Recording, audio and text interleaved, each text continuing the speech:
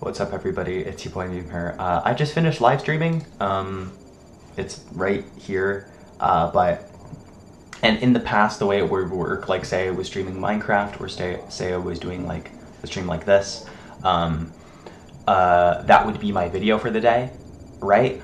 Um, but the terrible thing that seems to have happened is that they separated the videos category and like the live stream VODs category. So I'm also recording a video.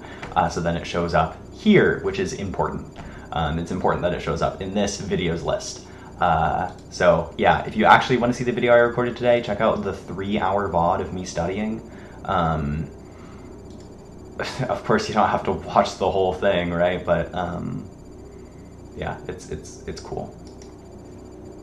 But yeah, um, I'm not going to talk about what I ate today because I did it in the live stream. Bye.